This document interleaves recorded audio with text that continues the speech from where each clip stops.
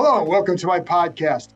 Do me a favor, subscribe to the John Keim Report wherever you get your podcast. You can find us on YouTube. If you're watching us there, hit that like button, hit the subscribe button. You can find us as part of Ampire Media, AMP, IRE. Always much appreciated. As you can see, I'm joined here by the Washington Post, Nicki Jhabvala. We're going to talk about the Commanders' 23 to 10 win over the Houston Texans. But first, a reminder Bram Weinstein, the voice of the Commanders, and I will do our live stream YouTube show at 7:30 p.m. Tuesday night. Another non-therapy Tuesday, but we still have things to talk about. So tune in, right, Nicki? Such cheery Tuesdays anymore. There you go. I don't don't know what to do. Victory Tuesdays. Um, anyway, let's start here. And Nicki, this is five out of 6 mm-hmm. What are you taking away from that? We're going to get to the Taylor Heinicke quarterback stuff and all that. But what do you? What's your immediate takeaway? I think Taylor Heinicke is going to start more games.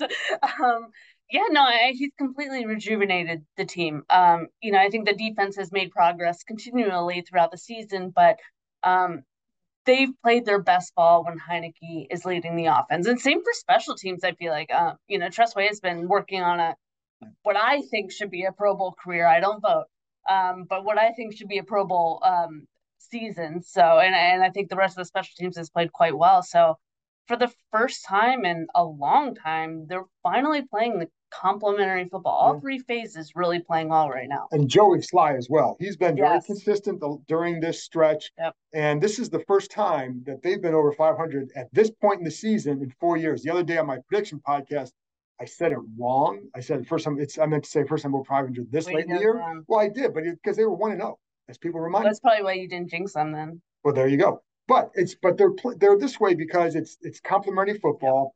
During the stretch, five out of six, plus seven in turnover ratio.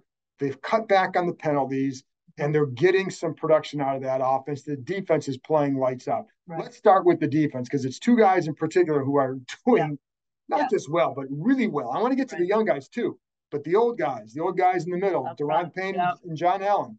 I mean, it's it's remarkable what we're seeing from. I shouldn't say it's remarkable because they're very good, but right. we're seeing some high level play from them. Oh, extremely. I mean, they are a force to be reckoned with inside, and you know, I, I think on a number of defensive lines, it's either a mix of DN and tackle or a pair of DNs that are really the biggest threats, especially in uh, with the pass rush. But it's these two are doing, you know, a lot of the work, and they're opening up opportunities for other players too. Like you know, Montez Sweat is working on what could be a career year in terms of sacks. He's already got, I think, seven already this season or six already this season. Um, so he could top his career numbers, but the way they're playing up front with stunts and uh, the communication, it's just they're creating. Can I say the H E double hockey stick? Yeah, of course. I, they're creating hell for offenses. So it, it's it's fun to watch it's a big damn improvement over last Ooh, year. Did How's that? say four letter word? I, think, I think it goes back to you know one thing they've talked a lot about. We talked to Rivera about this. I don't know if it was Friday or the last couple weeks because you lose track with yeah. everything going on here about their playing in unison, and it's been a theme lately. And he'll he'll bring up really good examples of them on certain stunts. And and John Allen brought it up today mm-hmm. post game about some plays that they make that it's not a coordinated stunt, but it's one right. that develops because one player might see the other guy looping outside or going outside, so the other guy ducks inside. That unison, we did not see that last year. I think some of that, maybe Jeff Zgonina has done a good job yeah. with the troop, and they're also producing on their own. But I think he's done a good job as D line coach. Yeah, no, absolutely. It Montez Montez Sweat's first sack of this game. They did a stun. I think it was a tackle and Montez on that side. Montez kind of looped around um, and, and, got him. So yeah, you see, there's at least one every game. I feel like where it, you can really just see you know the effect of it has. And then Jonathan Jonathan Allen's just a force up Ryan. His first sack, he literally pushed back the guard at least six yards. Um, and he's had a number of those with his signature hump move. So um, yeah, they're they're really working well together. And and not just the line, as you said, I, the, the pass rush and the coverage always go hand in hand. And you look at the way the line is playing, but also the way their their secondary is. They've rearranged that group to give the young guys more time in the field. And I think it's really remarkable that Benjamin St-Juste and Darrick Forrest played sparingly last year have earned their way into the starting lineup this year. Well, and I'm glad you brought them up. Thank you. You're welcome. But, but part of the re- thing with them and talking to them after the game too, I think it's the learning curve that takes process. It's just because right. a guy's out there does not mean they're a finished product. There's right. a lot of learning to be had. So, like Darrick Forrest, for example, said was I was talking to him after the game, and he's talking about how just the little things he's learned that have made him better. Just it could be situational, it could be by being able to read and know what's coming based on alignment. Right. and he's gotten better with that. And he's a he's a massive hustler. That's yeah. why he keeps getting those plays. But it's also his growth just in terms of what he knows. And it allows him play with more confidence and faster. And then with St-Juste is kind of the same way. Right. and he even brought up the the play where Forrest gets the pick. It starts with St-Juste knowing what he has against Brandin Cooks knowing the situation and saying, okay, it's it's a, I think it was a second or third and long, yep. and then eliminating a route. As soon as he sees him come off the line, he eliminated the quick game, so he knows he's going to do. He's going right. to try and run the fade. So he gets back there and gets in good position, tips it. Here comes Forrest. But it's that kind of learning curve right. that takes place that they have really done yeah. well with. That that learning is what's different this year. Um, and with with key players too. Like you know, I mean this no disrespect to Carson Wentz, but you see a lot of the same plays would be made over and over.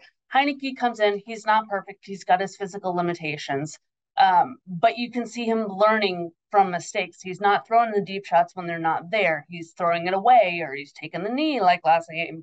So you're seeing that. You're seeing Jamin Davis learn from his mistakes. You're seeing the young guys in the secondary secondary learn from those mistakes. I mean, Benjamin St-Juste brought it up tonight how he's um, you know, getting those PI calls. And he's like, if I just ease up a little bit on kind of the hand fighting, um, they see this, they learn, they don't have the same mistakes week in and week out. It's why there's a growth process that takes place, which I know yeah.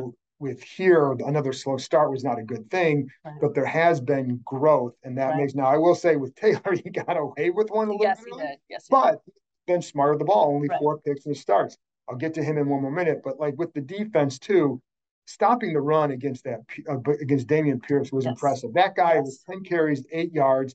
That was by far his worst game of the year, and right. he was a force coming in. But that's all they had. Right. And and you're right. The coverage worked very well. Kendall Fuller got the pick.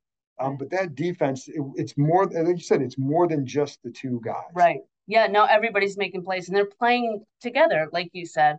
Um, you know, I think for Houston, I feel like they're kind of dealing with a lot of what Washington, you know, like maybe two years ago or when they were had their really bad struggles. Um, when you only have one real playmaker on offense, it's easy, not easy, but easier to shut that one person down. Um, kind of like when Washington had only primarily Taylor. Now they got a, a lot of really good playmakers. And I thought it was really interesting when Taylor Heinicke was like, it's it's fun to be a quarterback in Washington. People want to be a quarterback in Washington because look at the playmakers. Look the way the offensive line is playing, the run game. I don't think anybody's really said that about the quarterback position in Washington in a really long time. Well, I'll give you the the what I really liked is a touchdown to Curtis Samuel, mm-hmm. and I thought one of the things that was a key in this game was going to be try and get their eyes. They were very aggressive defense, mm-hmm. get them going a lot of different ways.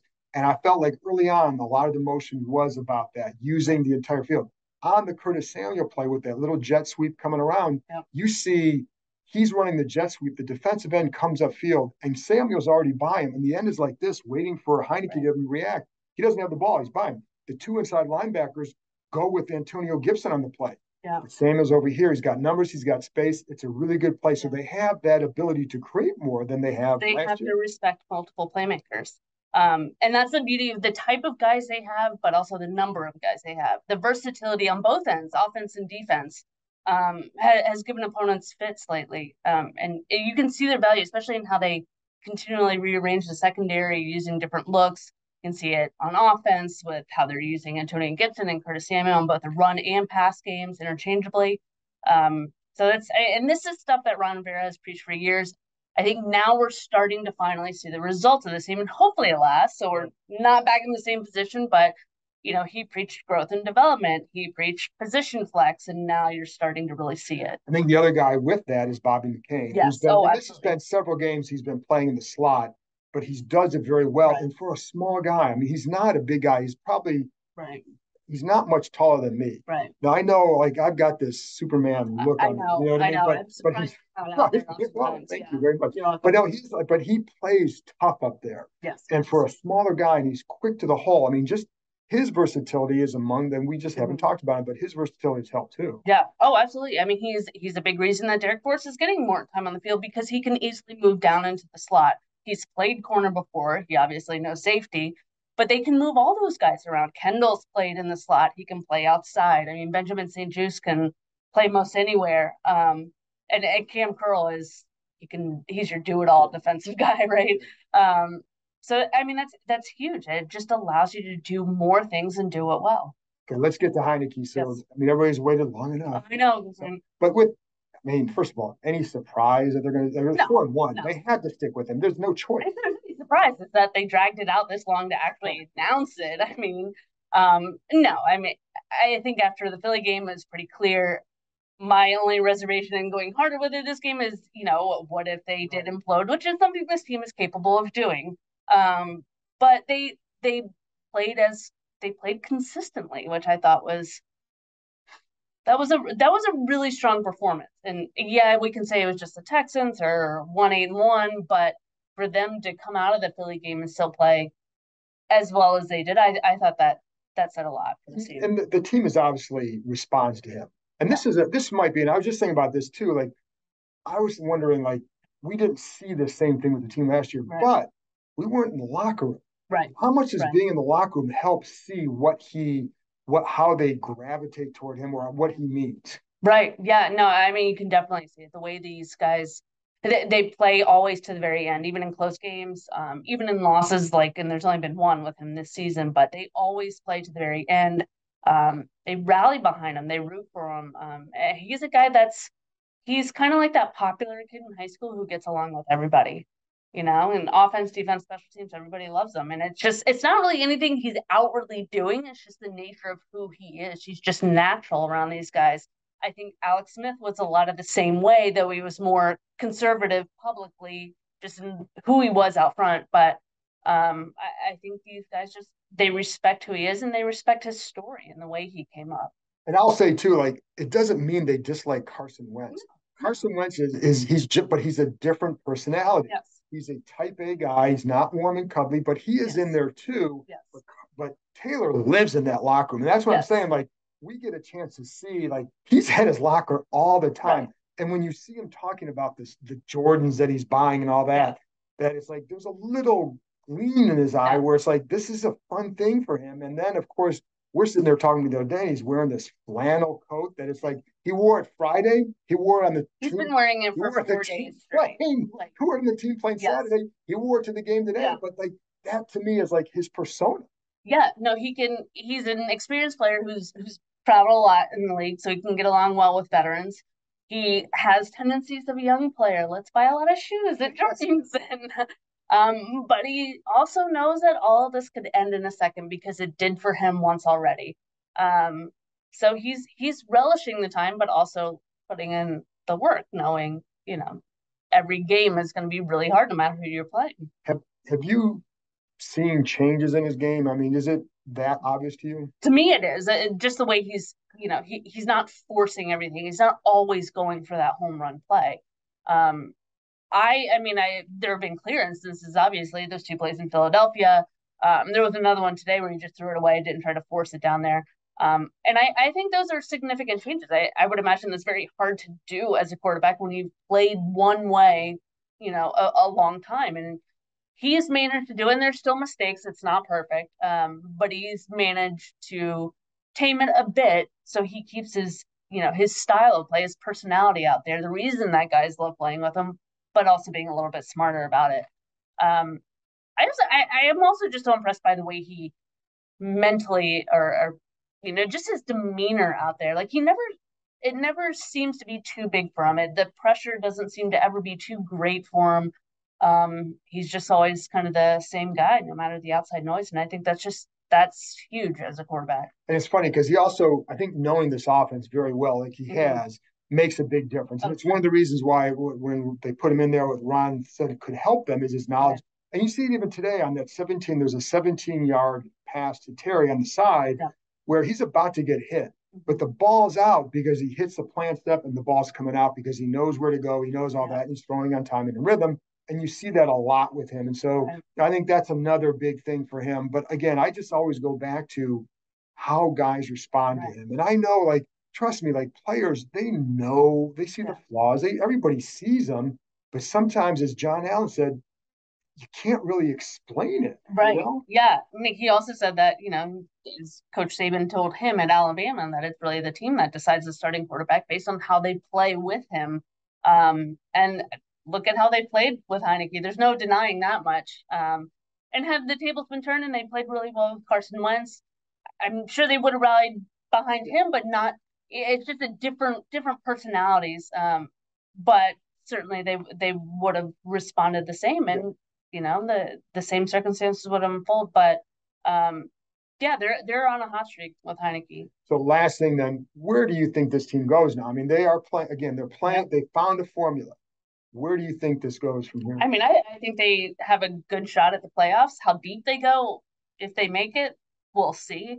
But I, I think they're really showing their potential. Of course, in the off season, they're going to be left with that same major question, and that, of course, is about the quarterback. Heinicke's still he's playing well. There are always going to be those limitations, and they may always be limitations that are too much for Ron Rivera and his staff. So then what? Um, but I, I think with Heinicke, they're really able to develop the rest of the team.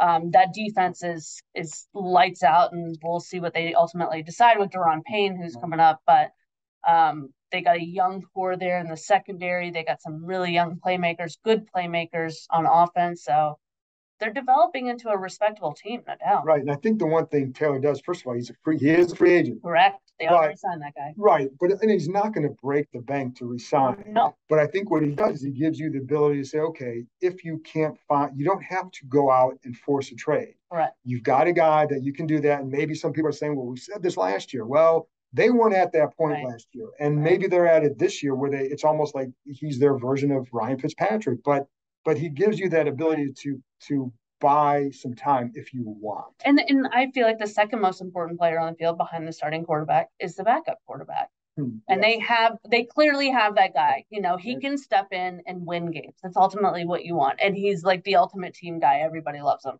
There's literally what more could you want from a backup quarterback if you don't deem him to be a long term starter, right. that is.